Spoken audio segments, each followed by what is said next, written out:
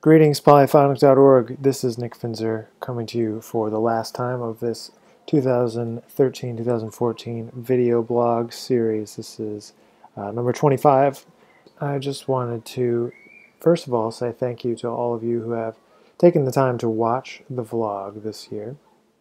And I really appreciate your time and attention, and I hope that some of this uh, has been helpful to you and uh, please don't hesitate to share some of the old videos in the last year, some notable ones, uh, interviews with Chris Ziemba, with Jeremy Siskind, some tips about uh, getting a record deal, uh, and an opportunity to collaborate uh, with me and my new record label, Outside in Music.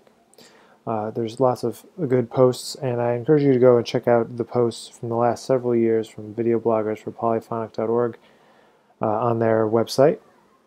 Uh, and you can definitely check out the upcoming year's vloggers. I would visit polyphonic.org to find out more about that.